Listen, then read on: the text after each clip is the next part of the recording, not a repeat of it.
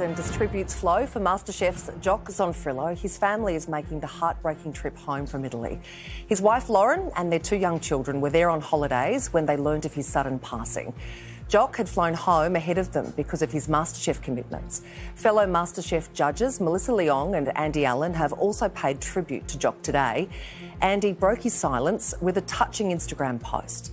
He wrote, Sure, you've taught me so much about food, but it's the lessons I learned about what it means to be a great father, husband, and friend that I'll take away from our time being together. Life will never be the same without you.